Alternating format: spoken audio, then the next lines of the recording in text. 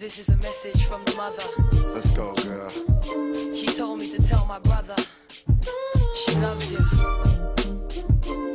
And I do too, Yes, yes. cause you're my superstar.